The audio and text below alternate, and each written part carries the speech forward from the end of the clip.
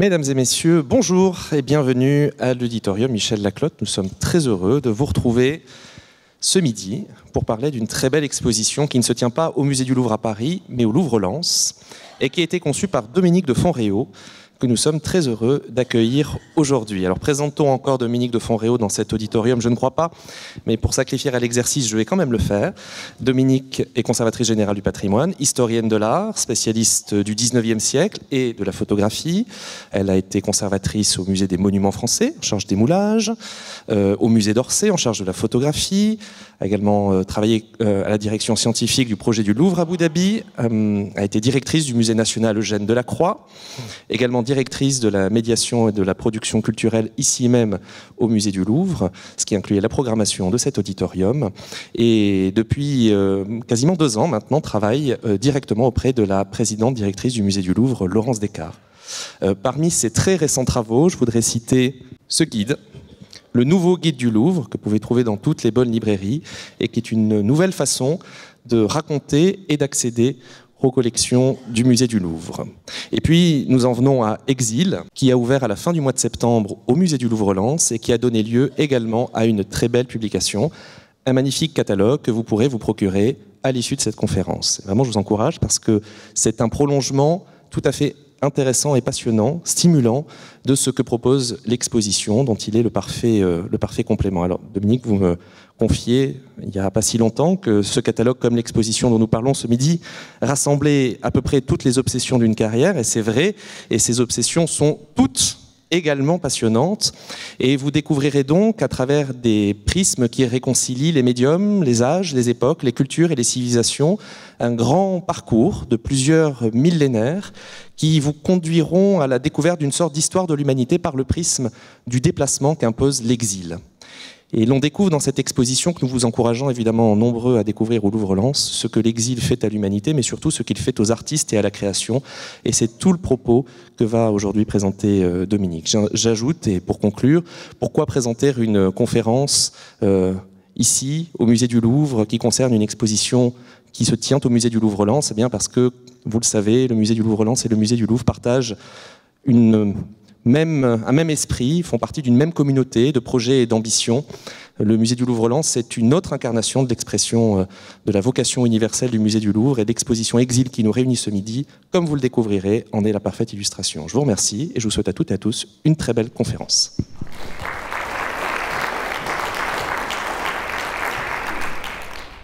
Merci beaucoup, hein, cher euh, Barthélémy Glama, pour cette présentation. Euh, élogieuse et euh, qui dévoile évidemment, mais non pas mes, mes pires turpitudes, mais certainement mes, mes obsessions les plus, euh, les plus tenaces. Mais un certain nombre d'entre vous les, les, connaissez déjà. Je voulais avant toute chose euh, remercier très vivement Luc Bougnol-Lafont et l'ensemble de l'équipe hein, de l'auditorium et des spectacles. Remercier aussi Barthélémy Glama et remercier tout particulièrement Yukiko Kamijima pour l'accompagnement qu'elle qu'elle m'a accordé pour, pour la préparation de cette, de cette conférence. Donc un très grand, très grand merci à toutes et tous. Voulais aussi euh, remercier très vivement Laurence Descartes, euh, puisque c'est euh, Laurence Descartes qui m'a invité à à porter ce projet. Je vais vous en dire un mot que je portais depuis longtemps. C'est un projet que j'avais en tête depuis longtemps, mais pas forcément comme un projet d'exposition. Et c'est Laurence, euh, avec euh, Marie Lavandier, qui, euh, à l'époque directrice du Louvre-Lens, qui m'ont invité à en faire une exposition à Lens, au Louvre-Lens. Ce que j'ai accepté avec joie, puisque, comme vient de le dire Barthélémy, le Louvre-Lens, c'est une certaine manière l'association des valeurs du Louvre, hein, cette aspiration universaliste du Louvre, et en même temps aussi ce Louvre en partage, ce Louvre en transmission qui nous est évidemment euh, si précieux. Euh, ce projet, et je vais vous mettre tout de suite comme ça, ça vous donnera le temps de le lire, je ne vais pas lire les citations, sinon ça nous emmènerait trop loin, mais euh, ce projet est un projet que, que je porte depuis longtemps parce que je travaille depuis plusieurs décennies autour de Gustave Courbet sur euh, son œuvre et, sur l'homme. Et vous le savez, Courbet est, mort en exil, euh, un exil douloureux, d'autant plus douloureux qu'il était injustement condamné, euh, vous le savez, à, on l'accusait d'avoir déboulonné tout seul la, colonne Vendôme, ce qui évidemment était impossible. Donc exil douloureux, exil qui l'éloigne des siens, qui l'éloigne de sa patrie, et exil physique euh, qu'il connaît de 1973 à 1977 euh, au moment de sa mort, mais pensée exilique qu'il avait aussi euh, nourri, porté auparavant, euh, alors qu'il était euh, bien sûr pas menacé de quoi que ce soit, et qui m'a fait m'interroger depuis longtemps sur le rapport entre l'exil et la création. Qu'est-ce que l'exil fait à la création? Est-ce que la création a parfois besoin d'exil? De quel ordre? Donc tout élément sur lesquels j'ai eu l'occasion de m'interroger depuis déjà assez longtemps. Croisé avec cela, mais ceux qui avaient eu euh, la possibilité de voir l'exposition Mythe fondateur il y a maintenant une dizaine d'années ici, au Louvre, dont j'étais euh, commissaire, euh, croisé avec cela mon goût immodéré depuis, depuis toujours, je crois, pour ces grands textes dits fondateurs, que ce soit les textes de la Bible, l'Odyssée, l'Énéide, le Ramayana, et qui tous nous parlent d'exil, tous nous montrent l'exil, ni comme une aspiration ni comme toujours une damnation, mais en tous les cas comme une sorte de condition commune euh, de l'humanité, un peu comme si nous étions tous des exilés dans cette pensée euh, portée euh, par ces grands textes. Grands textes qui, vous le savez, ont environ 3000 ans, ont été écrits il y a environ 3000 ans, mais qui font, bien sûr, qui ont retranscrit, bien sûr, des textes oraux beaucoup plus anciens, donc qui accompagnent évidemment l'histoire de l'humanité depuis toujours.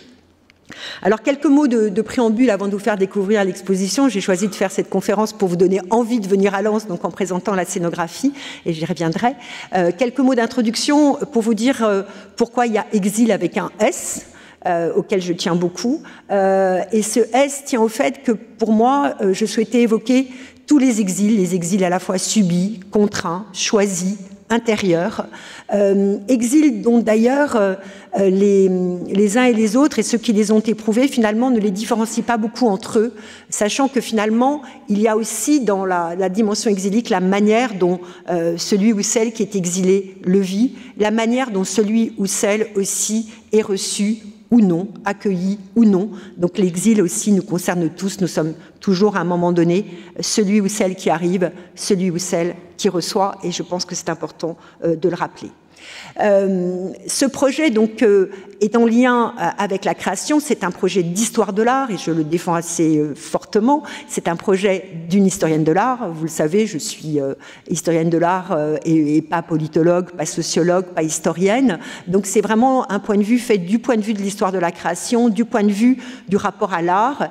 Et cette exposition thématique est aussi, et je m'en réjouis beaucoup, une exposition d'histoire de l'art qui permet de découvrir des rapprochements entre certains artistes, qui permet de tisser des liens entre les artistes, qui permet euh, d'écrire une sorte d'histoire qui euh, suit l'ensemble de la création euh, artistique. C'est une exposition thématique que j'ai voulu comme telle parce que je me suis rendu assez vite compte, depuis le temps où je réfléchis sur ce projet, depuis une dizaine d'années, que euh, l'aspect chronologique n'était pas très signifiant, euh, qu'il n'aurait pas forcément apporté beaucoup de choses du point de vue de la création artistique, et qu'en revanche, euh,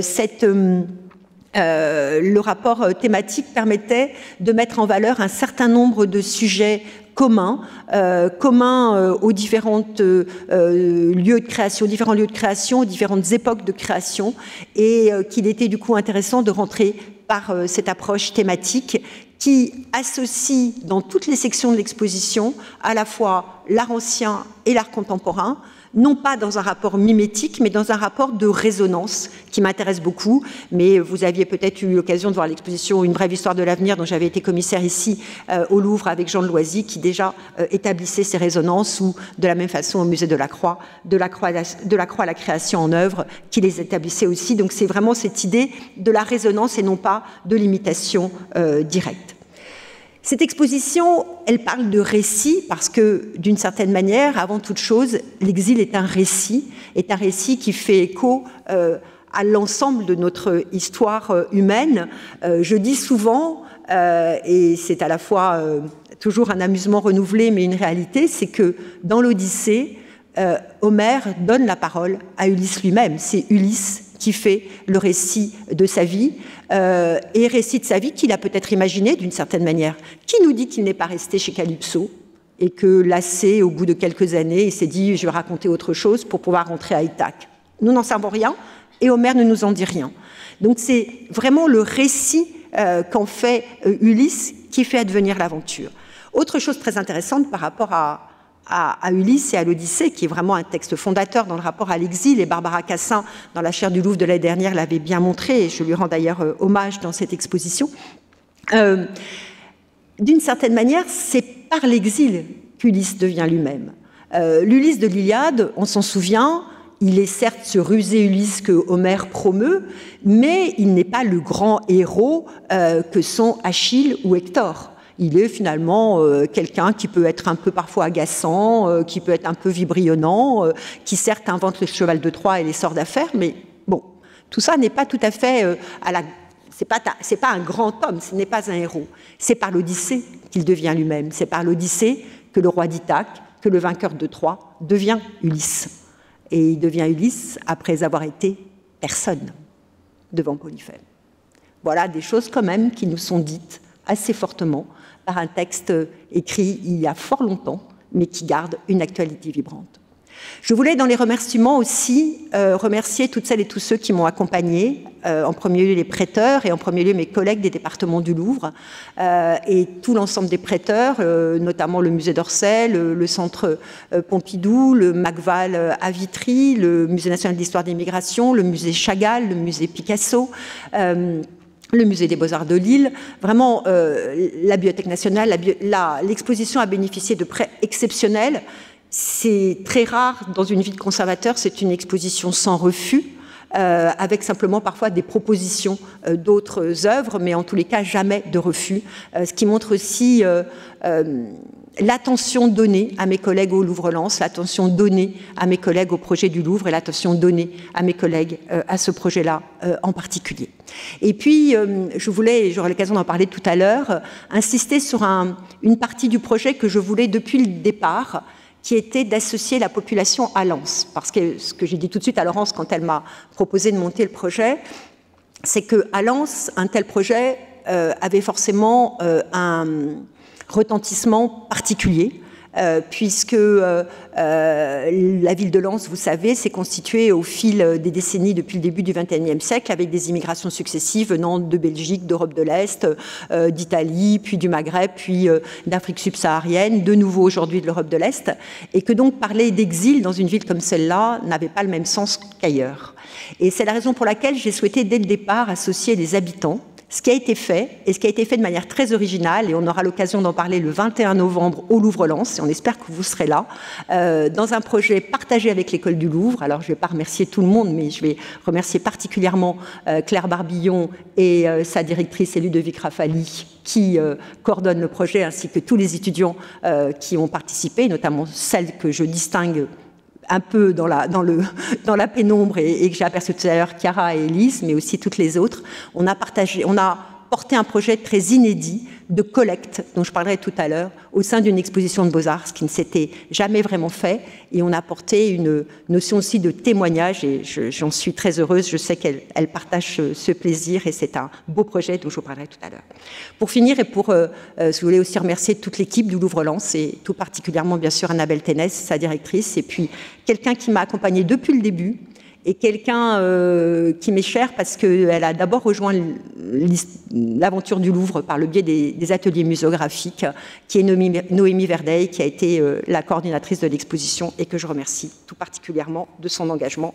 Sans vous, Noémie, rien n'aurait été possible parce que j'ai des qualités, mais par contre, la tenue euh, exacte d'un calendrier ou parfois de liste, c'est pas forcément mes premières qualités, mais c'est comme ça. Chacun intervient comme il le peut. L'exposition aujourd'hui, euh, elle, euh, elle résonne douloureusement, je le sais. Euh, et beaucoup m'ont dit Ah, d'accord, c'est une exposition d'actualité. Ce que ce n'est pas, puisque le projet, je le portais depuis longtemps et que c'est finalement fortuit ou pas, c'est toujours compliqué de gloser trop longtemps sur le hasard ou la nécessité, que ce projet advienne aujourd'hui. Euh, mais c'est vrai, l'actualité d'aujourd'hui est particulièrement douloureuse. L'actualité d'aujourd'hui nous parle de naufrage en Méditerranée, nous, parle de naufrage dans la Manche, nous parle d'exil euh, à Gaza, nous parle d'exil au Liban, nous parle d'exil au Soudan, nous parle d'exil en Ukraine. Je ne vais pas lister euh, tous les pays douloureusement éprouvés, mais vous les avez en tête. Nous parle d'exil au Mexique, nous parle d'exil dans l'ensemble des Amériques. Et cette actualité, elle est, est, là, et il n'est bien sûr pas question de faire comme si elle n'était pas là. Mais euh, ce projet, sans savoir quelle serait l'actualité de 2024, sans même savoir que le projet adviendrait en 2024, j'ai toujours su qu'il résonnerait, quoi qu'il arrive, avec l'actualité du moment où il adviendrait. Euh, dans la mesure où ce projet, c'est l'actualité d'aujourd'hui, c'est l'actualité d'hier, et ce sera malheureusement aussi, certainement, l'actualité de demain.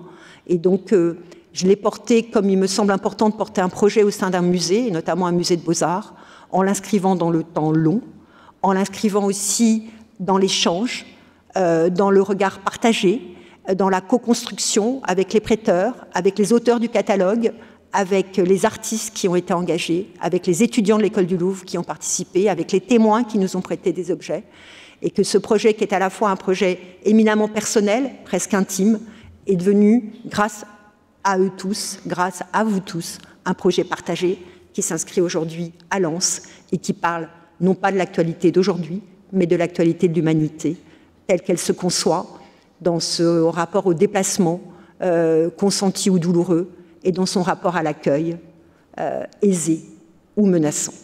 On aura l'occasion d'y revenir.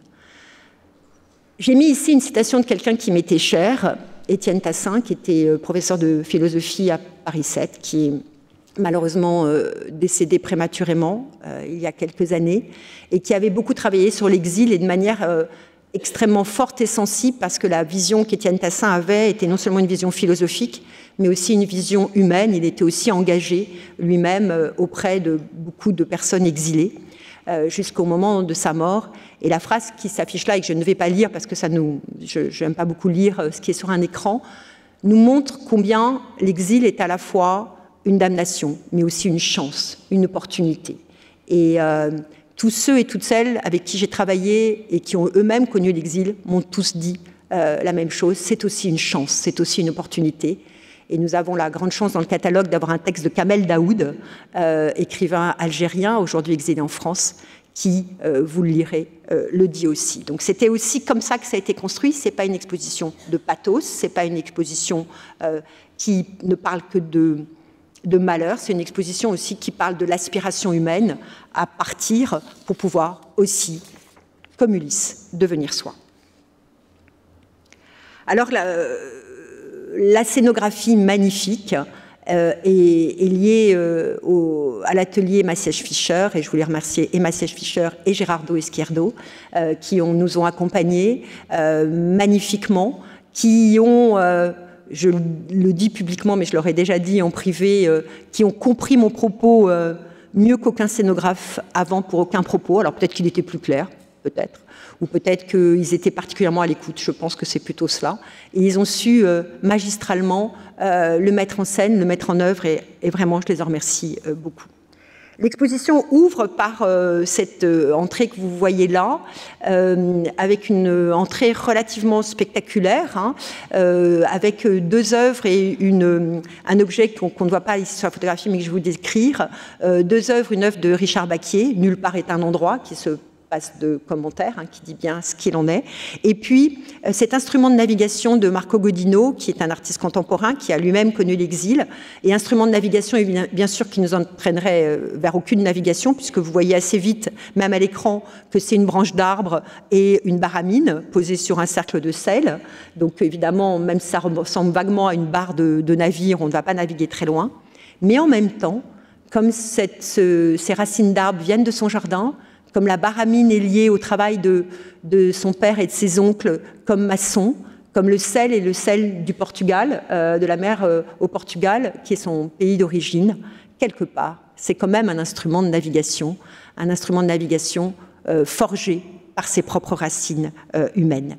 Et puis la troisième œuvre qu'on ne voit pas ici, mais que vous aurez l'occasion de découvrir, c'est un tout petit bateau, un origami, l'origami le plus simple, un petit bateau aux couleurs de SOS Méditerranée, qui a été euh, fait euh, à l'occasion d'une vote aux enchères au bénéfice de SOS Méditerranée et euh, acquis par le MUSEM et que j'ai voulu montrer dans cette intro parce qu'elle permettait aussi d'associer finalement très largement, de montrer que cette histoire concernait tout le monde et que par le biais de l'origami, on était à la fois sur quelque chose de sensible, mais en même temps aussi avec quelque chose qui renvoie à l'enfance et qui me semblait important de souligner ici. Donc euh, une autre, une autre vue euh, de, l'entrée. Ce que je voulais, et vous voyez le petit bateau est dans la vitrine que vous voyez euh, sur, le, fond à droite. L'exposition est, conçue avec cette introduction qui est assez spectaculaire mais qui n'appelle pas forcément à, s'y arrêter et est conçue avec à la fois une alternance de, de, de salles plutôt contemplative et de salles un peu plus démonstratives, mais tout ça a été évidemment pensé et magnifiquement mis en scène par euh, les ateliers Fischer. Justement, euh, je vous présente quelque chose que vous ne voyez en général jamais, mais qu'on a eu plaisir, euh, Massèche et moi, de, présenter quand on était à Lens ensemble, qui est l'esquisse par lequel on avait l'esquisse du concours par lequel on avait choisi le scénographe, puisque vous le savez, c'est toujours un concours. Et euh, on était très heureux en, se remémorant, parce qu'entre-temps, on avait bien sûr un tout petit peu oublié, de voir euh, euh, que très vite, un certain nombre de choses avaient été là, et notamment cette idée vraiment formidable de ce point central. à partir duquel tout rayonne, puisqu'en fait, cette exposition n'est pas une exposition où le, le parcours est cadré, où on va d'une salle à une autre de manière obligée. Ça, c'était vraiment un point de vue que j'avais défendu. Il me semblait qu'une exposition sur l'exil ne pouvait être ni dogmatique, ni trop didactique, à, qui apprendre quoi que ce soit euh, sur ce sujet-là, ça n'aurait pas de sens. Et qu'au contraire, il fallait inviter euh, le, visiteur à pouvoir, les visiteurs à pouvoir euh, aller et venir dans l'exposition comme il le voulait, donc à partir de ce point central, toutes les sections rayonnent et chacun peut établir euh, son propre parcours, avec la volonté aussi d'avoir, et vous le verrez euh, au fur et à mesure où, je vais vous montrer euh, les diapositives, avec aussi des vues perspectives d'une salle à une autre, de manière aussi à avoir des contrepoints, de manière aussi à avoir une déambulation choisie dans l'ensemble de l'exposition. Euh, ce point de vue accompagne euh, vraiment ce rapport au récit, accompagne aussi ce point de vue à la littérature, puisque la littérature est très présente dans le catalogue comme dans l'exposition, à la fois avec des citations, avec des extraits audio, euh, avec des livres, vous allez en voir certains, qui sont présents dans l'exposition. Je voulais vous montrer ici euh, le, euh, euh, le, point central sur lequel sont disposés des livres, sur lequel vous avez aussi des extraits audio et livres que, que les visiteurs peuvent lire pendant leur visite ou au moment de leur visite, livres dont le choix a été fait entre des ouvrages pour adultes, pour enfants, des ouvrages de fond, de la poésie, donc l'ensemble de, de, de, projets et bien sûr le, le catalogue aussi, le catalogue aussi du musée. Et vous voyez bien sur cette image combien tout rayonne, combien vous pouvez aussi partir d'un endroit à l'autre euh, de manière libre, revenir sur vos pas, euh, voir deux fois la même section ou au contraire ne pas en voir une autre, et aussi ces points de vue euh, qui permettent d'avoir un point de vue d'une section à une autre. Sachant que les sections, qui sont six et que je vais quand même vous lister pour la commodité de langage, sont très perméables entre elles. Euh, la première, c'est l'exil, une condition euh, humaine commune, hein, ce rapport à nous sommes tous des exilés par laquelle on rentre, et je vais y revenir tout de suite. Ensuite, une section très forte sur l'accueil et l'hospitalité qui s'appelle Accueillir, puisque je le disais tout à l'heure, euh, l'exil, la, vie de l'exil dépend aussi beaucoup de la manière dont l'exilé est accueilli, hier comme aujourd'hui. une autre section qu'on a appelée passage et arrachement sur tous ces enjeux de, traversée, de, franchissement, euh, de dépassement de soi, c'est-à-dire que ces passages et franchissements soient euh, des passages euh, qui soient des passages symboliques ou des passages réels une section qui s'appelle tout simplement Créer en exil. Et là, où Barthélemy serait content, je, renoue évidemment avec toutes mes obsessions, c'est-à-dire euh, non seulement Courbet, mais, aussi Delacroix, mais aussi David, mais aussi Hugo. voilà, vraiment, évidemment, ça me permettait de, montrer des choses qui me tenaient à cœur, mais pas seulement, évidemment. C'était pas seulement, il n'y a aucune question personnelle dans ce propos-là, mais au contraire, une manière de, le mettre en évidence. Une quatrième section une cinquième section, pardon, sur le souvenir de l'exil, sur les traces que l'exil laisse en soi, puisque c'est Neruda euh, qui le dit, l'exil est comme un cercle, l'exil n'est pas euh, une sorte de vecteur hein, euh, où on irait d'un point A à un point B, mais c'est au contraire quelque chose de circulaire, quelque chose sur lequel on revient, ce rapport à la mémoire, ce rapport à la mémoire qui le construit, qui l'établit, qui en fait récit d'une certaine manière, c'est aussi grâce au souvenir. Et puis enfin, une dernière section complexe, euh, pas si facile que ça à recevoir, et je le sais, notamment euh, à Lens où on est à 35 km de Calais, qu'on a appelé nulle part et qui traite des camps de rétention, pas des camps de concentration bien sûr, mais des camps de rétention administrative qui existent en France, vous le savez, depuis 1938 avec euh, euh, l'ordonnance de, euh, de, de, Daladier hein, à propos des réfugiés de la guerre d'Espagne. Et euh, ces camps, qui sont des camps parfois établis, parfois sauvages, euh, ces camps qui sont souvent détruits mais toujours remontés et qui, existent aujourd'hui dans les, tous les pays du monde et par lesquels on a voulu traiter aussi avec quelques exemples. L'ensemble de ces sections se répondent. elles sont thématiques. Il aurait été vain de pouvoir traiter toutes les époques, tous les moments. Ça, c'est bien sûr, ça n'aurait même pas, je n'ai même pas tenté de le faire. On aurait pu mettre 200 000 œuvres dans une œuvre qui en compte aujourd'hui, dans une exposition qui en compte aujourd'hui environ 200. Donc, c'était évidemment pas possible. Elles sont thématiques, mais euh, on a essayé d'avoir des œuvres des artistes de tous les continents, et tous les continents sont présents l'Europe, l'Asie, l'Afrique, les deux Amériques, l'Océanie, et pour euh, les artistes contemporains d'avoir autant de créations femmes, d'artistes femmes que d'artistes hommes, et ça pour moi c'était aussi extrêmement important, sans pour autant évidemment avoir fait de, de quotas. Alors la première section, c'est une section euh, très contemplative hein, qui se veut comme ça là, sur lequel je vous montre une des vues, une des très belles vues, euh, avec un prêt magnifique de mes collègues euh, des peintures du Louvre, hein, le déluge d'Antoine Carache, grand chef-d'œuvre hein, présent dans la collection de Louis XIV, donc qui a aussi été le modèle de beaucoup de tableaux ensuite, on le sait bien, et de, tableaux et d'interprétations. Et puis deux œuvres contemporaines qu'on qu voit bien au premier plan, Exodus de Barthélemy Togo, qui aujourd'hui est honoré d'ailleurs euh, par la Bibliothèque nationale, et puis euh, une voile euh, de Enrique Ramirez, celle number, 14. alors, je ne sais pas parler espagnol, donc la montagne, je ne sais pas, voilà. Et d'ailleurs, je ne sais pas pourquoi je suis passée, je sais pas pourquoi je l'ai dit en anglais, c'est parce qu'il y avait celle, voilà, c'est pour ça. Et et donc euh, d'un jeune artiste d'origine chilienne euh, présent donc dans, le projet et avec lequel j'ai beaucoup échangé euh, dans, dans, ce projet. L'idée là, c'est de montrer, comme je vous le disais très brièvement en introduction, que tous les grands textes, et notamment les, les textes de l'Ancien Testament de la Bible, hein, qui sont communs aux trois religions du livre, nous parlent d'exil et notamment avec quelque chose qui nous a semblé pendant longtemps très lointain et qui nous semble certainement un peu moins lointain avec ce qui se passe aujourd'hui euh, dans différentes régions de France et du monde, euh, ce déluge, euh, ce déluge à la fois réel et métaphorique. Et l'idée est de montrer à la fois comment les artistes l'ont traité. Euh, par les temps passés et aujourd'hui comment il l'interprète, euh, sachant que par exemple Enrique Ramirez dont je parlais, cette voile est une voile qui fait écho aux réfugiés climatiques d'Amérique du Sud, mais qui fait aussi écho à sa propre euh, vie personnelle, puisque sa famille fabrique des voiles au Chili, et, donc quelque chose qui lie à la fois une forme d'histoire universelle et d'histoire intime, quelque chose qui me permet de souligner, parce que je ne l'ai pas dit en préambule, que les artistes ne voient jamais l'exil à distance, qu'ils aient eux-mêmes connu l'exil ou pas, c'est quelque chose qu'ils voient toujours de l'intérieur. Euh, et ça, c'est un point important euh, à souligner.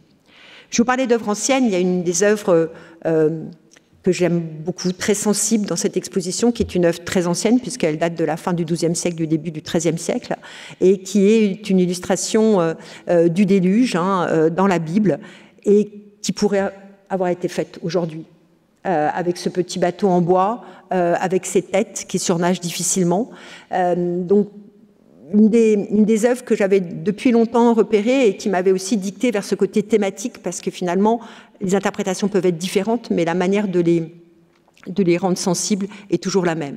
Et vous voyez là un des motifs récurrents de l'exposition qu'on retrouve à plusieurs reprises, le bateau, que ce bateau soit un bateau réel, un bateau imaginaire, un bateau sacré, que ce soit une traversée qui est une traversée géographique, une traversée mentale, euh, une traversée entre la mort et la vie ou la vie et la mort, mais cette, ce, cette dimension du bateau est quelque chose qui est très présent, euh, comme le sont aussi d'autres motifs, comme celui aussi de l'oiseau, hein, de l'oiseau migrateur hein, et de celui qui franchit euh, les frontières, et comme l'est, je vais revenir un tout petit peu en arrière parce que pour montrer euh, l'œuvre de Barthélemy Togo, vous voyez des ballots, et ces ballots, euh, ce sont ce qu'on rassemble quand, de plus précieux pour emporter avec soi. Alors on ne déplace pas le buffet Henri II de la grand-mère et on ne prend pas non plus des choses trop lourdes parce qu'on sait que très vite on ne peut pas porter ces choses lourdes. Donc euh, ce qu'on met dans des ballots, c'est ce qui est le plus précieux, à la fois euh, peut-être de manière monétaire, mais surtout aussi le plus précieux pour nous. Et vous verrez aussi que c'est un motif récurrent qu'on retrouve aussi bien dans des tableaux anciens que dans des compositions contemporaines.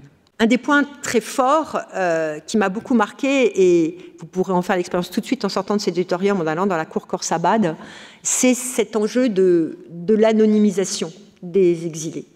Euh, cet enjeu de dépossession de l'identité et donc de la nécessité de faire récit. Si on ne raconte pas pourquoi on est là et pourquoi on, a une histoire à raconter, on va garder cet euh, anonymat.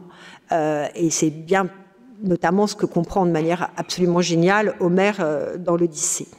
Et si je vous dis la cour Corsabat, c'est parce que dès, le palais de Sargon, hein, euh, à Khorsabad, euh, les déportés, les exilés sont représentés en longs fils, anonymes. On ne les reconnaît pas. Euh, ils sont tous représentés de manière identique, à la différence bien sûr des hauts personnages qui, eux, sont individualisés. Donc il y a cette répétition qui est vraiment une sorte de motif de la représentation qui est là euh, qui est là depuis, euh, euh, plusieurs milliers d'années, hein, depuis presque 3000 ans, dans les représentations, mais qu'on pourrait trouver aujourd'hui encore dans les photographies d'actualité prises au Soudan ou prises, en Ukraine ou, à Gaza, cette longue file de personnes qui ne sont finalement tout anonymes. Et j'ai voulu, ça c'est quelque chose que j'ai fait à plusieurs reprises, et c'est aussi pour ça, que, et je le souhaite comme ça, que cette exposition est une exposition aussi, bien sûr, d'histoire de l'art, c'était absolument essentiel pour moi. Ici, avoir quatre euh, représentations différentes euh, qui euh, traitent du même sujet, parfois en renvoyant à une thématique particulière, celle des nés par exemple, ou celle des Hébreux, mais parfois pour euh, Georges Rouault, pour Honoré Daumier, euh, Rouault appelle euh, son œuvre Exode. Daumier, c'est un magnifique prêt du musée d'Orsay, je remercie beaucoup mes collègues d'Orsay, appelle son œuvre Fugitif, et on ne sait pas quel est l'Exode. On ne sait pas ce que fuit. On est dans quelque chose qui est atemporel, mais qui en même temps représente l'humanité telle qu'elle est, cette humanité de femmes, d'hommes, d'enfants, penchés, harassés, partant quelque part sans savoir quelle est la destination finale et représentée de manière semblable euh, et indistincte. Donc ça, c'est vraiment aussi un... Vraiment, je remercie beaucoup tous les prêteurs qui ont permis euh, la possibilité de le faire.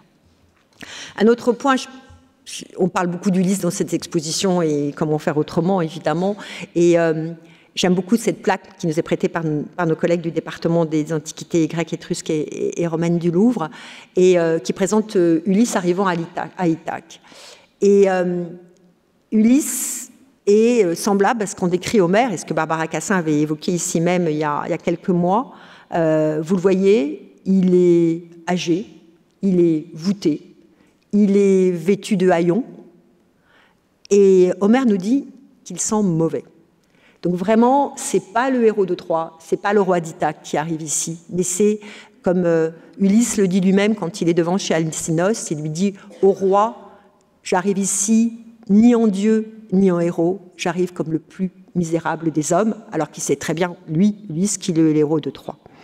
Et euh, Pénélope, vous le savez, ne le reconnaît pas. Et cette représentation, qui est une des plus anciennes euh, qui nous a été transmise, hein, pas une des plus anciennes réelles, mais une des plus anciennes qui nous a été transmise, euh, je trouve, dit fortement aussi cette manière dont les textes anciens, comme les représentations anciennes, ont très bien compris cette intériorité euh, de l'exil, cette intériorité de la, posture et de la, de la condition euh, de l'exilé.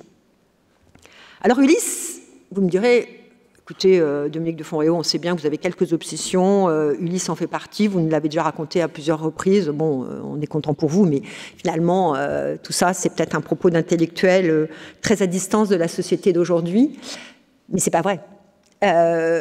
et c'est ça qui euh, est très fort dans un sujet comme celui-là, c'est qu'il tisse euh, des éléments entre l'art du passé et l'art d'aujourd'hui, et que Marco Godino, que j'évoquais tout à l'heure, a euh, conçu cette très belle installation qui s'appelle Between Two Waves, qui avait été en partie dans une autre version présentée à la Biennale de Venise en 2019, et qui est tout à fait étonnante parce que c'est l'idée de plonger à chacune des étapes du voyage d'Ulysse, donc euh, dans l'Odyssée, des carnets aux pages blanches, de les plonger dans la mer euh, de les garder avec ce qu'il y a comme éléments. Il y a à la fois euh, des algues, parfois de la terre, du, sable, parfois des colorants un peu bizarres qui sont un peu inquiétants sur l'état de la Méditerranée à certains endroits, mais enfin bon.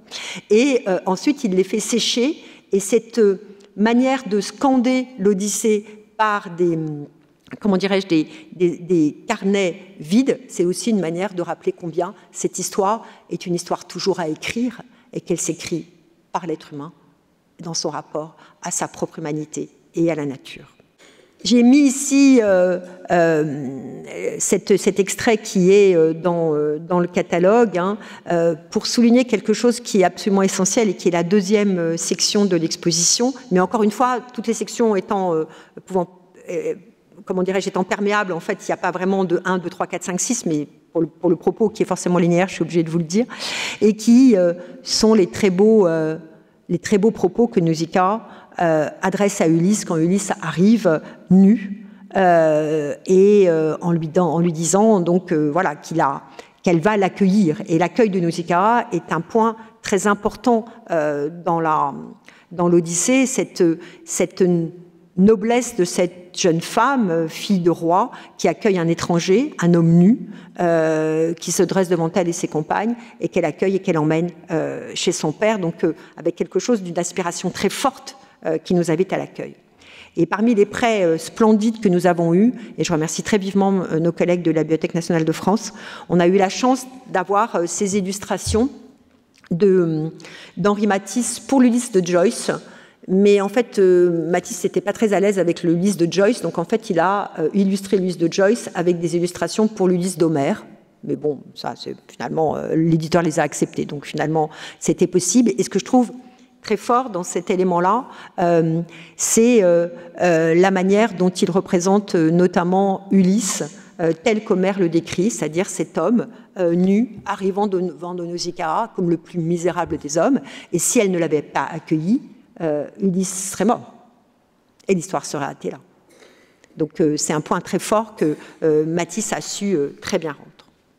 Autre élément dans cette aspiration à, l'accueil et l'hospitalité, c'est quelques, quelques, versets de, la jeunesse que tout le monde connaît hein, et qui sont communs, encore une fois, aux trois religions du livre. Et ça me semble important de dire combien tout ça nous est commun, tout ça nous est partagé. c'est Abraham qui reçoit trois étrangers. Il les reçoit à sa table, euh, il les nourrit, il les abreuve, il leur permet de, se nettoyer, de se reposer. Et on le sait, ces étrangers étaient des envoyés de Dieu, des anges, une manifestation divine, et c'est grâce à eux que euh, euh, le vœu le plus cher d'Abraham sera exaucé, que sa femme, Sarah, attend un enfant. La métaphore est belle. C'est de l'accueil de l'étranger que viendra ta postérité. La métaphore est belle. Ce n'est pas une exposition d'actualité, mais la métaphore est belle.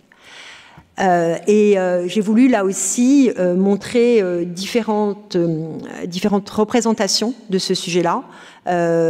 L'une par Domenico Piola, qui est un, artiste italien de la fin du XVIe siècle, début du XVIIe siècle. L'une par Rembrandt, sur lequel je vais revenir.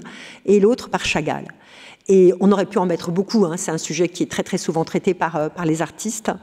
Et j'ai choisi là trois sujets différents. Piola, il nous montre trois anges tellement beaux qu'honnêtement, on les accueille pendant six mois, chacun chez nous, et on ne veut pas qu'ils aillent ailleurs. Ils sont magnifiques, c'est l'ange euh, comme créature divine. Euh, Chagall, euh, ce sont trois enfants, et ça en dit long sur ce rapport toujours à l'enfance, à la naïveté chez Chagall, à cette manière aussi de toujours revenir vers ce pays natal qu'il avait quitté bien des années auparavant, la Biélorussie, mais qui est toujours vivant et vibrant dans, son, dans son œuvre. Et Rembrandt, qui lui aussi, euh, comme Matisse, hein, n'a pas particulièrement connu l'exil, est peut-être celui qui en fait l'interprétation la plus forte. Les anges de, Rembrandt sont trois vieillards, trois vieillards difformes. À mon avis, comme Ulysse arrivant à Ithaque, ils sont aussi mauvais. Ils sont en haillons. Et donc, euh, l'accomplissement d'Abraham est encore plus grand. Et cette aspiration à l'hospitalité à laquelle nous invite le texte de la Bible est certainement encore mieux interprété. Donc toujours une vue de cette section-là, avec euh, ici deux œuvres de Barthélemy Togo, l'une euh, assez forte hein, que je vais très brièvement vous commenter, hein, The New World Climax, qui montre à la fois des tampons et des impressions de ces tampons. Et ces tampons, vous le voyez, ont forme d'homme. Euh, ce qui ne veut pas dire qu'il ne faut pas avoir de règles d'accueil et de circulation. Évidemment qu'il faut des règles d'accueil et de circulation, il y en a toujours eu, il en faut. Ce serait pas possible d'avoir une anarchie sans règles. Mais en revanche, peut-être gardons-nous d'avoir des règles qui transforment les êtres humains eux-mêmes en tampons. C'est ce que nous dit euh, l'œuvre de, Barthélemy Togo euh, ici. Ici, une autre vue pour vous montrer ce que je vous disais tout à l'heure, hein, la manière dont les différentes sections communiquent hein, et la manière dont vous pouvez aussi établir votre propos. Là, on va vers euh, euh, deux sections, euh, passage et arrachement et créer en exil, mais on peut passer d'un côté ou de l'autre. Et dans les différentes conférences que j'ai faites sur place, j'ai expérimenté l'une et l'autre. Et de la même façon ici, c'est la vue inverse. On, vient de là où on était donc pour l'accueil et, vers, et vers, euh, et vers donc euh, souvenir d'exil. Là aussi, cette possibilité de pouvoir passer euh, de l'un à l'autre. Et vous voyez la, la beauté de la, de la scénographie des ateliers Fischer qui est absolument remarquable. C'est certainement dans ma longue vie de conservateur et dans ma longue expérience de commissaire d'exposition la plus belle scénographie qui m'ait été donnée de travailler avec. Donc vraiment, merci infiniment. Je vous parlais de contemplation, première salle contemplative, cette deuxième salle, enfin cette salle-ci aussi, dans Passage Arrachement, est très contemplative, euh, avec un, des vis-à-vis très forts euh, de euh, deux grands diptyques de Jan Peiming, qu'on connaît bien au Louvre, hein, puisqu'il avait été l'artiste des funérailles de Mona Lisa. Ming qui est pour moi un, vieux compagnon, parce qu'on partage Courbet, on a Courbet en partage, Ming et moi, et là, on a beaucoup réfléchi et travaillé sur ce sujet-là aussi.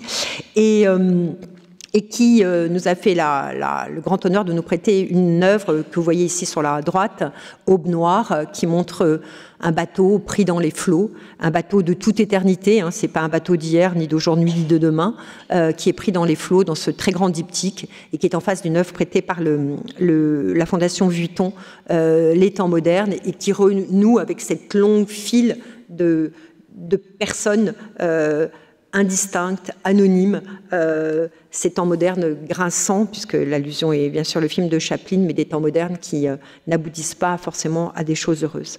Et en perspective, vous voyez à la fois un tableau de Myriam Kahn, euh, Nostrum, qui là aussi n'est pas lié à l'actualité, parce que c'est un tableau qui a déjà presque une vingtaine d'années, mais pour ceux qui disparaissent en mer et qu'on ne retrouve pas.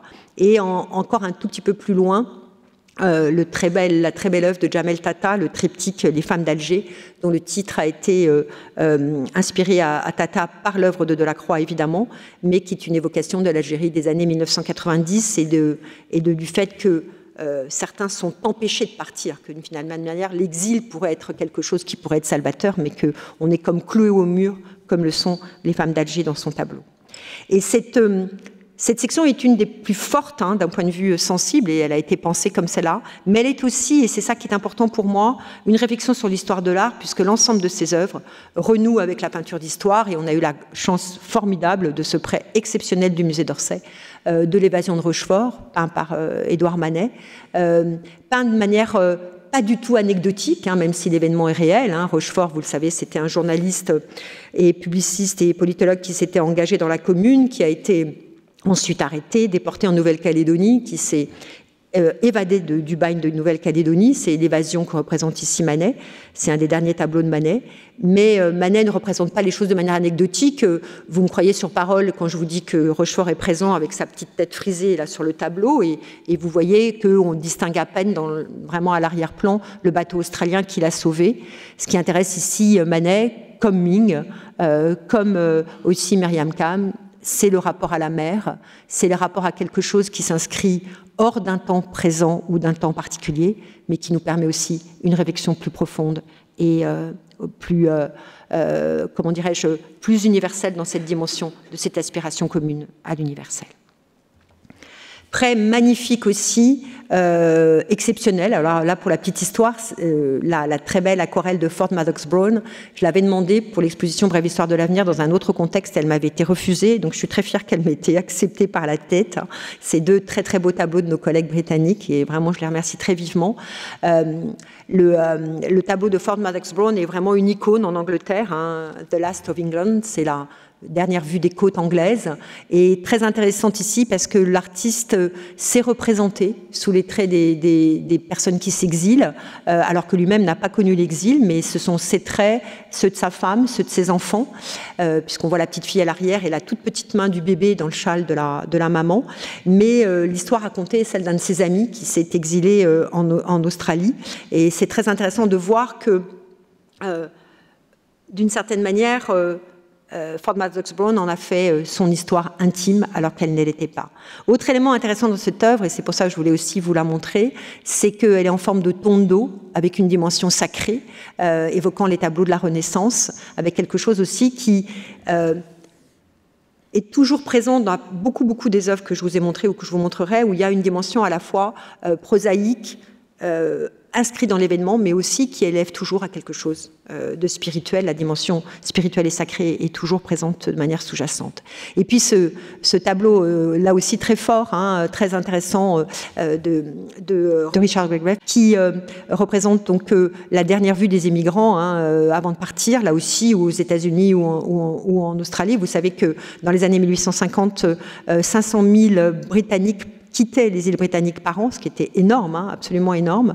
Et on voit toutes les attitudes, le père dans une forme d'exaltation, mais aussi content de partir et d'aller, les enfants les plus âgés déjà partis d'une certaine manière, et la mère un peu repliée euh, sur elle-même avec ses enfants, qui seraient sans doute bien restés, donc qui montre aussi toute cette dualité d'émotions que fait surgir euh, l'exil. Alors peut-être que je vais faire ce que j'avais dit que je ne ferais pas, mais ça c'est euh, voilà fait partie des choses que j'aime toujours euh, faire. Euh, c'est, je vais peut-être quand même vous lire Ovid, parce que Ovid a beaucoup compté dans ma, dans l'élaboration de ce, projet, parce que je trouve que les pages qu'il écrit euh, quand il est exilé aux confins du monde connu, alors, hein, exilé par Auguste, et lui aussi, il ne sait pas très bien pourquoi il est exilé. Bon, il a sans doute un peu agacé. Comme Courbet, il n'est jamais revenu. Et ces pages sont certainement les plus fortes que je n'ai jamais lues de la désespérance humaine, mais en même temps de cette énergie à continuer à créer. Et Ovide écrit J'écris d'un lieu d'exil et d'un pays barbare, dans un temps incertain et plein d'adversité. Et le plus étonnant est que j'écrive encore, que ma main triste trace des signes. Et c'est vrai que ces mots d'Ovide évidemment, euh, nous aimons tous beaucoup, c'est des mots qui ont compté parce que c'est des mots, euh, et soi, euh, que bien des exilés ont eu ensuite en tête, et que quelqu'un dont je vais parler tout de suite, enfin très bientôt, Victor Hugo avait bien sûr en tête quand il était exilé lui aussi dans une île, à Jersey, puis à Guernesey. Alors, hommage à celui par lequel tout a commencé, ce magnifique prêt de, nos collègues euh, du musée d'Ornans. Merci à Benjamin Foudral euh, d'avoir accepté de nous prêter son chef-d'œuvre. il fait une salle à lui tout seul hein, au musée d'Ornans, donc je remercie parce que c'est vraiment un prêt exceptionnel. mais je pense que notre ami Gustave est en bonne compagnie là où il est, près d'Hugo, près de Delacroix, près de David. Il m'en aurait pas trop voulu, je crois. Et ce tableau est un tableau que j'ai toujours beaucoup aimé, un tableau qui a souvent été, à mon avis, mal lu par l'histoire de l'art, où on en a parfois vu quelque chose comme une vue touristique du château de Chillon, soit croit, je ne crois pas du tout, ce crois, je n'ai jamais cru.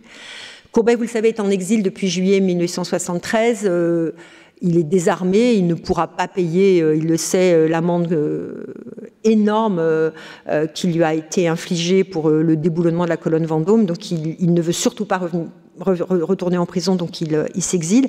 Il s'exile pas très loin, puisque vous savez, son pays d'origine, c'est le, Jura français, hein, le, Doubs, et euh, il est euh, tout près, un vol d'oiseau, il s'exile en Suisse à 40-50 km de chez lui, il n'est pas très loin. Mais c'est quand même un exil, et un exil dont il n'est pas revenu. Et il est à Tour de Pels, donc à peu près, si on regarde le tableau, à peu près là, enfin on a quelques kilomètres, ce château de Chillon, il le voit. C'est un lieu touristique déjà à l'époque, mais c'est aussi une forteresse hein, dans laquelle euh, euh, ont été enfermés un certain nombre de personnages, et notamment ce personnage mythique hein, du prisonnier de, Chillon, euh, écrit par Byron, et ensuite, vous le savez, si bien représenté par Delacroix, avec un tableau qui est dans les collections du Louvre et que vous pourrez aller voir tout à l'heure si vous le, le souhaitez. Et dans ce tableau, Courbet comme Ovid qui continue à écrire, il continue à peindre. il continue à peindre en étant fidèle à lui-même, puisque toute la partie gauche du tableau est, euh, euh, proche hein, de ces falaises d'Ornans, euh, de, la matière de ces falaises d'Ornans, qu'il retranscrit ici d'une certaine manière, avec leurs bruns, leur, leur, leur ocre, leur vert. Et puis, de l'autre côté, au contraire, une autre manière de peindre qui n'est pas forcément la sienne, qui est une manière de peindre infiniment plus romantique d'une certaine manière, avec une légèreté euh, de la peinture beaucoup plus grande que dans la partie, euh, que dans la partie gauche, euh, avec ce jeu de reflets du lac et du ciel, et qui sont pleinement d'une certaine manière romantiques et mélancoliques. Et pour moi, et depuis longtemps, ça fait longtemps que je le pense ça, et maintenant je le pense de manière encore plus forte d'avoir accroché ce tableau près d'Hugo, près de l'exil intérieur de Delacroix. Ici, ce que peint Courbet, ce n'est pas un haut lieu euh, de la Suisse du XIXe siècle, tel qu'elle est appréciée par les touristes, mais c'est euh, cette évocation romantique de Byron et de Delacroix, comme si, d'une certaine manière, le prisonnier de Chillon, ici, c'était lui. Et euh, ce tableau est très important pour moi aussi parce que quand on parle d'exil, et quand je préparais l'exposition, c'était aussi ce que certaines personnes m'opposaient, euh, on a souvent, on pense à des images et des images répétées et qu'on pense être toujours les mêmes et, d'une certaine manière des images toujours de, violence ou de, ou, de, ou de déportation. Elles existent et elles sont là aussi dans l'exposition et vous l'avez vu notamment avec ce que je vous ai montré tout à l'heure. Mais ce qui me semblait aussi important, c'est de montrer que l'artiste exilé, et c'est le cas ici de Courbet, parfois ne représente pas euh, ce qu'il vit, mais représente ce qu'il perçoit et ce qu'il perçoit ici par ce paysage euh, si magistralement euh, peint et si remarquable. Autre personnage important dans la, longue lignée euh, des, artistes confrontés à la création en exil, hein, je parlais d'Ovid tout à l'heure, et personnage à peu près contemporain, hein, c'est Jean l'Évangéliste, écrivant, on le sait, l'Apocalypse en exil à Patmos, et là c'est un très beau prêt euh, vraiment remarquable, euh, qui n'a pas été très facile à obtenir, mais je remercie d'autant plus mes collègues de Valenciennes, euh, et qui montre, qui montre donc Saint Jean sur un rocher dominant l'île de Patmos et écrivant, écrivant là aussi un exil, un des textes fondateurs aussi d'une grande partie de l'humanité. Et de manière volontaire, j'ai mis ce, tableau en exergue d'une rotonde qui est dédiée à Victor Hugo, parce que Victor Hugo était très sensible à cette histoire tissée de créateurs en exil. Il avait bien sûr, quand il était à Jersey et à Guernesey, une île, hein, euh, comme, euh, l'île euh, dans laquelle Ovid a été déporté dans le détroit actuel du Danube, comme l'île de Patmos. il avait bien sûr en tête ces figures d'Ovide et de Saint Jean. des prêts exceptionnel. C'est le plus bel ensemble d'œuvres de Victor Hugo que vous n'avez pas vu depuis longtemps, donc ne serait-ce que cela, et là aussi, c'est ce que je voulais aussi, quand je parlais d'histoire de l'art, euh, vraiment la peine d'aller à Lens, des prêts remarquables du Louvre, du musée d'Orsay, euh, du musée Victor Hugo, un prêt particulièrement remarquable du Louvre, et merci infiniment à mes collègues des arts graphiques, et tout particulièrement à Marie-Pierre Salé, pour euh, ce prêt de Marine Terrasse que vous voyez ici. Marine Terrasse qui est un trésor national qui a été acquis avec la générosité des amis du Louvre. Donc merci à tous nos amis pour cette générosité-là et qui est vraiment euh, le, un des grands chefs-d'œuvre de l'exil où euh, Hugo associe au-dessus de Marine Terrasse et du fort de Jersey euh, ses initiales avec celles de sa fidèle maîtresse, hein, Juliette Drouet, qui l'a accompagnée, qui ne vit pas avec lui à Marine Terrasse, mais qui est présente à Jersey puis à Guernesey. Euh, et euh, il entremêle les deux, leurs, deux, leurs, deux initiales comme une sorte en, formant une sorte d'animal un peu fantastique qui s'élève au-dessus de Jersey, au-dessus de l'île. L'exil est pour Hugo un, moment à la fois très difficile. Vous savez qu'il était euh, un personnage important hein, sous la monarchie de Juillet. Euh, c'est un exil inévitable. Il a pris tellement parti contre celui qu'il appelle Napoléon le Petit qu'il ne pouvait pas rester évidemment.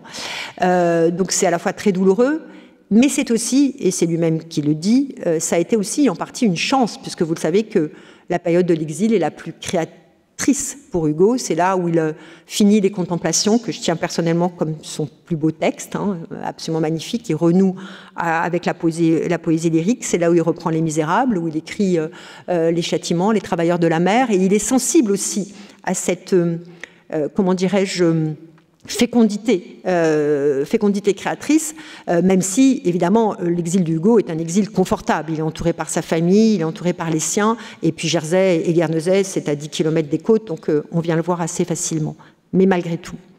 Et ce qui me semble très intéressant à souligner pour Hugo, c'est que, et ça m'a été rapporté, et je remercie beaucoup mes collègues de, mon collègue de Gérard Audinet de la, de la, du musée Victor Hugo, c'est qu'après 1866, Hugo peut rentrer en fait. Hein, L'amnistie a été levée, sa femme pour des raisons de santé rentre, ses fils qui se sont mariés rentrent aussi.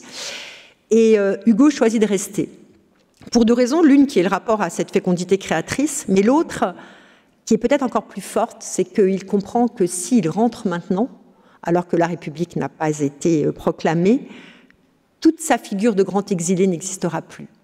Et il a en tête la manière dont le fait que d'une certaine manière, c'est avec euh, l'exil qu'Ulysse devient Ulysse, et c'est aussi avec l'exil que Hugo devient euh, le père de la nation et le père de la République. Donc c'est aussi de cette composition de soi par l'exil et qui semble importante à souligner. Ce qui est intéressant, c'est que Neruda, plusieurs décennies après, euh, a en tête, a en tête cet exil d'Hugo et lui aussi ne revient pas du Mexique tant que tant qu'effectivement euh, euh, le gouvernement socialiste n'est pas élu au Chili. Donc ce qui est intéressant de voir qu'il y a un prolongement de ce point de vue-là très fort.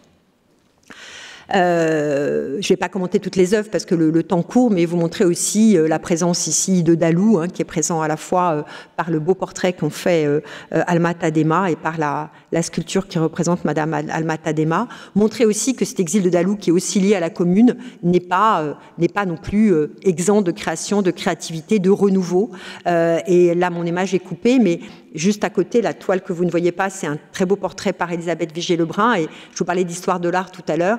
Ici, euh, euh, la, proximité du, portrait de Madame Alma Tadema par Dalou et du portrait fait par euh, Elisabeth Vigée-Lebrun montre aussi, aussi tout ce que Dalou doit à l'art du XVIIIe siècle. Donc c'était aussi important aussi pour moi que l'exposition soit une exposition d'histoire de l'art très splendide dans la même section, euh, euh, vraiment euh, très, très fort, hein, de la suppliante de Picasso.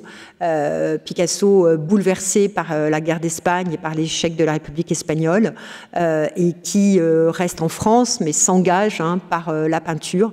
Cette suppliante qui à la fois évoque hein, les femmes qui sont à ce moment-là martyrisées par, par, les troupes de Franco, mais qui est aussi, qui s'inscrit aussi dans l'histoire religieuse, qui est aussi une pleureuse qui est aussi euh, une piéta. Et donc là aussi, cette dimension sacrée et cette dimension symbolique, un prêt magnifique consenti par nos collègues euh, du musée Picasso.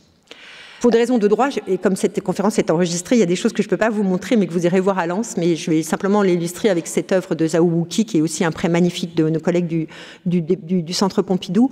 Zhao Wuki, donc, qui est d'origine chinoise, qui s'est exilé en France, et qui date ce tableau de la date de sa naturalisation française.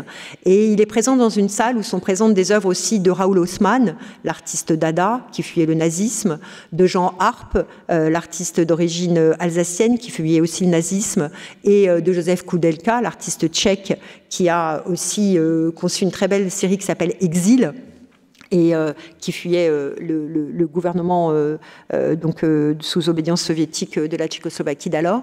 Et j'ai rassemblé ces artistes parce que tous ces artistes ont vécu des exils et certains d'entre eux des exils très durs où, où, leur vie était menacée. Et pourtant, aucun d'entre eux, comme le fait ici aussi d'ailleurs Zaouki, ne représente l'exil, mais représente quelque chose qui est plutôt du l'ordre de la matière. Ici, cette matière très forte de Zaouki, où il associe à la fois la tradition de la peinture chinoise et euh, l'école de Paris, l'abstraction de l'école de Paris, donc quelque chose où, il associe deux éléments, comme Courbet le faisait tout à l'heure, comme euh, Ovid, je le mentionnais tout à l'heure. Euh, Haussmann représente Ibiza où il a trouvé l'accueil dans les années 30. Alors c'est pas l'Ibiza de la jet set, hein, c'est pas David Guetta d'aujourd'hui, hein, c'est l'Ibiza euh, très euh, évidemment euh, très minéral. Hein, et il représente ces, maisons, ces pierres.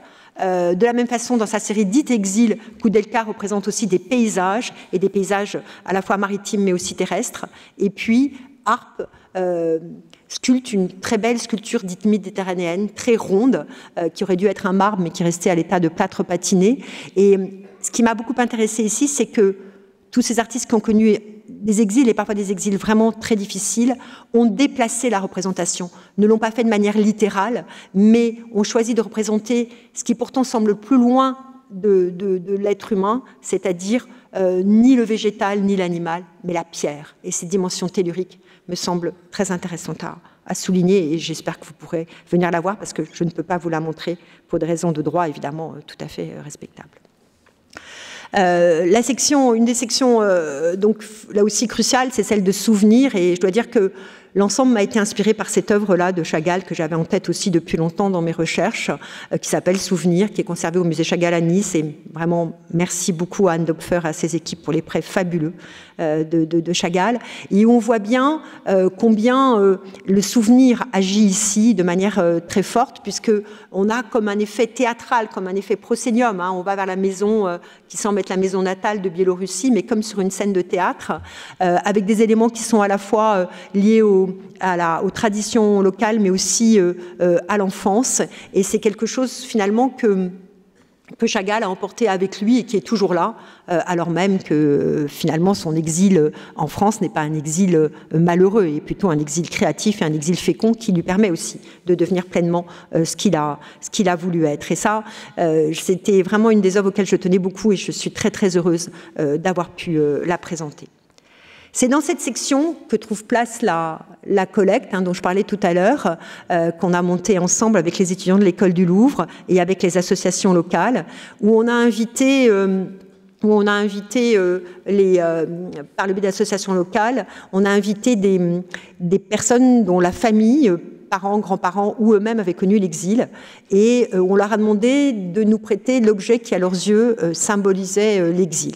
Et on a eu des, objets très différents, euh, à la fois euh, des objets précieux comme des bracelets, des objets traditionnels comme des broderies ou des assiettes, et puis des objets qui montrent qu'on est à Lens. On a trois maillots de foot quand même, hein, si je ne dis pas de bêtises, mesdames, mais vous, vous le direz, on a un maillot euh, marocain, un maillot égyptien et un maillot du Mali qui nous ont été prêtés, et notamment prêtés par euh, un, jeune homme qui est en, situation de, mineur isolé, hein, qui, a connu, qui connaît l'exil aujourd'hui euh, tout seul.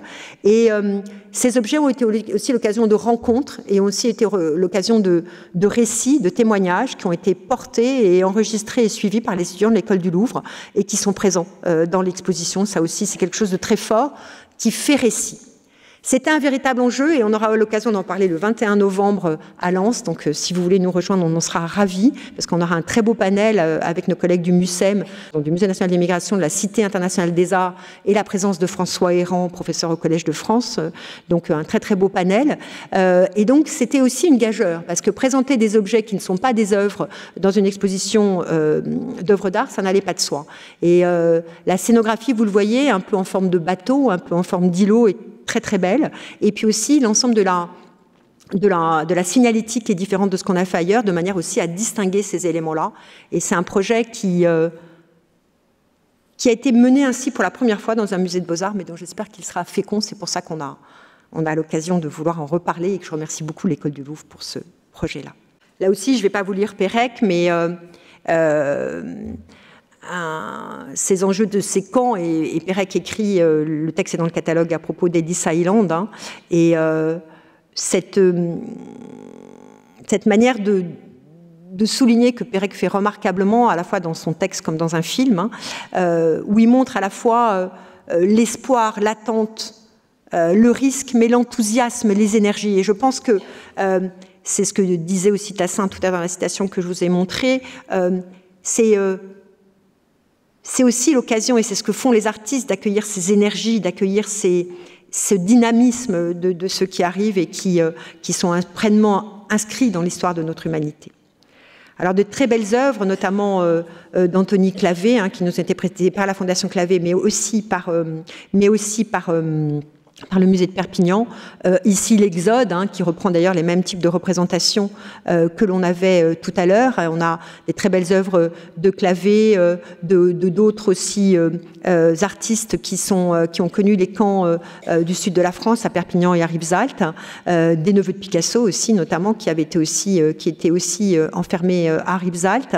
Et Clavé est une histoire intéressante, une histoire intéressante parce que il, est peintre d'enseigne et peintre en bâtiment avant la guerre d'Espagne et il devient peintre et grand peintre et grand décorateur de théâtre euh, grâce à l'exil. Donc là aussi, il a toujours aussi euh, transmis euh, cette chance aussi, cette opportunité, si on peut le dire comme ça, de l'exil malgré les temps très durs qu'il avait, qu'il avait représentés. Une des choses sur lesquelles j'étais, comment dire, assez non pas remise en question, mais peut-être interrogée, parfois défiée, et Noémie s'en souviendra, euh, c'était sur la représentation de Calais, parce qu'à 40 km de Calais, les, habitants du bassin minier avaient l'impression de pouvoir être stigmatisés. Or, il me semblait fondamental que ce soit présent. Et euh, pour que ce soit présent, on a choisi deux modes. Euh, un mode de photographes comme Mathieu Pernaud, comme Gilles Reynaldi, que je vais vous montrer tout à l'heure, qui ont travaillé dans la jungle de Calais, de Calais pardon, à la rencontre des, euh, euh, différentes personnes qui étaient, donc euh, qui cherchaient donc à franchir la Manche pour aller en Angleterre, et puis de manière très métaphorique avec cette œuvre d'Annette Messager que vous apercevez ici, qui s'appelle Les planètes. Annette elle-même est de la région, elle est née à Berck, donc elle connaît bien ces sujets-là. Et ces planètes, c'est des, une installation qui de ballons en forme de planète, à nouveau le ballon, à nouveau le ballon en tissu, qui se gonfle suivant un rythme de 45 minutes. Donc euh, il faut attendre assez longtemps si on veut voir l'ensemble, mais c'est fait comme ça, évidemment. Et quand elles se gonflent, c'est euh, ces ballots sur lesquels sont dessinés des continents, ou elles élèvent les pantins sur lesquels, euh, qui sont attachés à ces ballots, ou au contraire, elles les écrasent. Je pense qu'on ça se passera de, commentaires. Et l'œuvre est très sensible et associe à la fois l'univers du tissu, très important à Calais aussi, et l'univers de l'enfance si crucial dans, le, dans la conception d'Annette Messager. Je l'évoquais tout à l'heure, Gilles Reynaldi. Euh, Gilles Reynaldi a publié il y a peu de temps un très beau livre qui s'appelle Welcome My Friend, publié aux éditions du Point du Jour à Cherbourg. Et, et ce Welcome My Friend, si on lit un peu rapidement, on pourrait se dire que c'est finalement Reynaldi hein, qui n'a pas connu l'exil, le dit Welcome my friend. Alors, Welcome my friend, c'est les mots qu'il a entendus en allant dans la jungle de Calais de la part de, réfugiés euh, afghans euh, euh, et, irakiens qui, le voyant arriver à Calais, trempé, il pleut parfois dans le nord, pas très souvent, hein, trempé, ayant froid, lui ont dit Mais welcome my friend, viens prendre un thé sous notre tente pour pour pouvoir te réchauffer. Et ça a été l'occasion pour Gilles ensuite d'un travail très long où il a rencontré ces différentes personnes et où il a même, le jeune garçon dont on voit le portrait ici, il l'a en partie aussi initié à la photographie, donc un, travail de transmission et de présence qui était important. Je ne l'ai pas dit tout à l'heure, j'aurais dû le dire, mais c'est un projet, je, vous l'ai dit ça, que c'est un projet personnel, hein, en parfois en partie intime, hein, sans pour que ce soit une intimité débridée, hein, et ni que je livre quoi que ce soit de moi-même qui n'intéresserait personne d'autre que moi. Mais euh, ça a été aussi un projet co-construit euh, avec les étudiants, avec les équipes de lance, avec les artistes. Euh, j'ai rencontré tous les artistes vivants qui sont présents, même quand ils ne sont pas, quand même c'est quand on a emprunté l'œuvre ailleurs, hein, quand j'ai emprunté l'œuvre dans une collection publique connue. et ça a été pour moi un, un, très beau, c'est un très fort moment et rien n'aurait été possible sans cette, ce partage.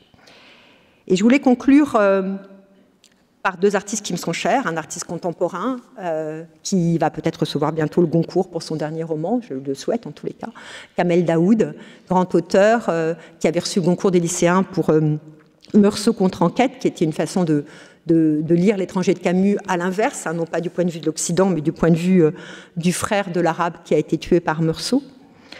Euh, et, euh, qui nous a fait cette grande joie de, nous accorder un texte. Je ne le connaissais pas, je lui ai écrit, il a accepté. J'en suis toujours un tout petit peu ébahie et très très reconnaissante.